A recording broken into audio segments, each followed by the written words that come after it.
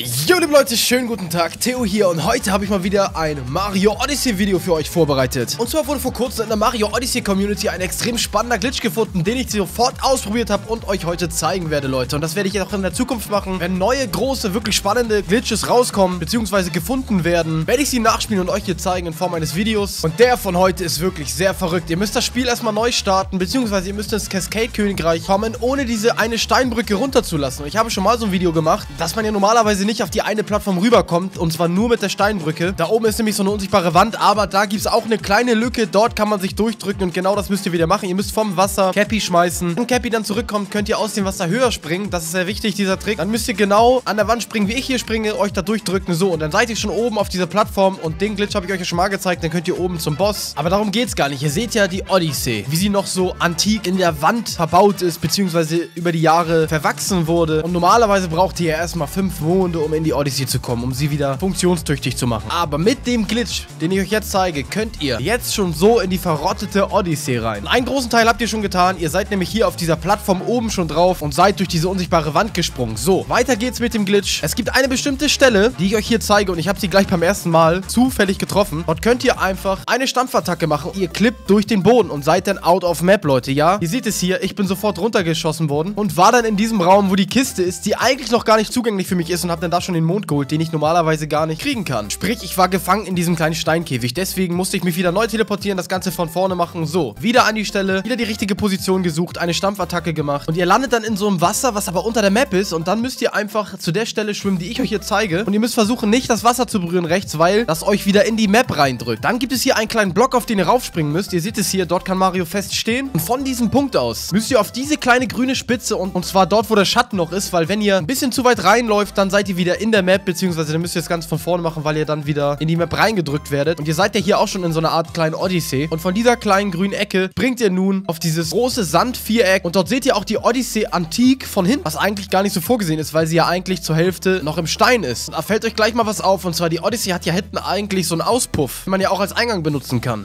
Und genau das machen wir uns gleich zunutze. Und zwar seht ihr erstmal jetzt die Odyssey richtig von drin, könnt ihr so reingucken und dort sieht die noch so verrottet aus und so. Und ihr denkt auch schon, ihr seid wieder in der Map, aber seid ihr gar nicht, Leute. Ihr seid in diesem Felsen, der später auch verschwindet, wenn ihr wieder ins Cascade-Königreich fliegt. Dann müsst ihr nur noch ungefähr schätzen, wo der Auspuff ist. Ihr seht ihn nämlich nicht. Dort müsst ihr dann eine Stampfattacke machen und ihr seht, wie Mario einfach reingedrückt wird in die Odyssee. Und siehe da, Leute, man kann es schaffen. Man kann in die Odyssey, obwohl die Odyssey nicht mal betriebsbereit ist. Ihr seid jetzt in der Odyssey drin, obwohl ihr gar nicht rein könnt, theoretisch. Das ist der Glitch. Ihr könnt sogar an den Kleiderschrank, ihr könnt komplett dort rumspringen, wie ihr wollt. Wenn ihr wieder rausgeht, ist alles so wie vorher. Probiert's mal aus, Leute. Das war's mit dem Glitch für heute, Leute. Ich wünsche euch einen wunderschönen Tag. Haut rein. Ciao und tschüss. Euer Theo.